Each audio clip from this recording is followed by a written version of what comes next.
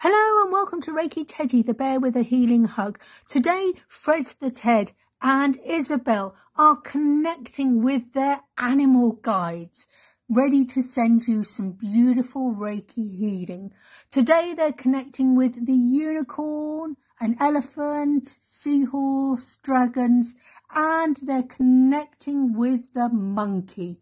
Ingenuity, the situation calls for adaptability and innovation.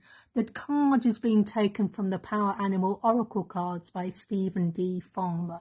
So if you wish to sit back, relax, and be ready and open to be receiving the energy that they wish to send you, connecting with Reiki, connecting with the healing hugs, and connecting with your own animal spirit guides.